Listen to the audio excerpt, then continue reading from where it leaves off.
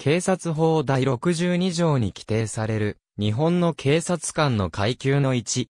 警部のもと、巡査部長の上に位置する。警部補の階級章を多くの警察本部や警察署では、係長級のポストとなる。交番では、箱長とも呼ばれる交番の責任者となる。英語のインスペクター及びルテナントの訳語にも当てられる。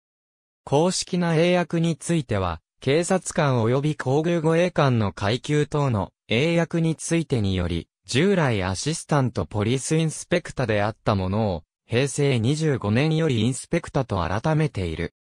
日本の警察組織上、警部補は、中級幹部とされ、一定の年齢を超えた者を除き、管区警察学校の警部部任用下で教育を受けることとなる。全員警察官の約29%にあたる8万7千人が警部補である。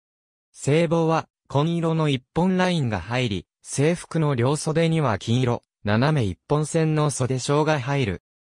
警察法第62条に規定され、警視総監、警視官、警視庁、警視正、警視、警部に次ぐ第7位にくらいする。警察実務では、チームリーダーとして、現場責任者的な役割を担う。この階級より、部下の勤務表情を実施することから、一つの小規模ユニットの長として活躍する。特に地域警察部門では、交番所長や駐在所所長といった一般市民と密接な場所の責任者にもなる。原則として、都道府県警察官採用試験に合格し、採用された者は学歴に関わらず巡査が初任である。巡査部長としての実務経験が、大卒、専門卒者で2年以上、短大卒者で3年以上、その他のもので4年以上あれば、承認試験の受験資格を得る。したがって、早い者は20代のうちに承認することができる。巡査部長として一定程度の経験を積んだ者が承認し、現場のリーダーとして活躍する場合が多い。国家公務員総合職試験に合格し警察庁に採用された警察官は警部補を初任とする。また彼らはこれ以降も承認試験を課されない。基本的に一つの係、班で係長や主任を担うが、警視庁など大規模な組織編成の警察においては、一つの係、班に複数の指揮官を置く制度をとっており、巡査における巡査長の場合と似て、同じ警部補の中にもリーダー格となる人物を配置する必要が生じた。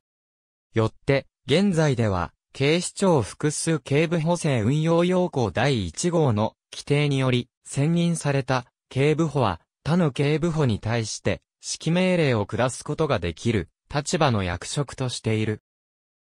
この警部補は責務の上昇に伴い、警部の給与等級である5号級が支給されるため、5級、職警部補と呼称されるが、運用上では、統括警部補等の通称で呼ばれている。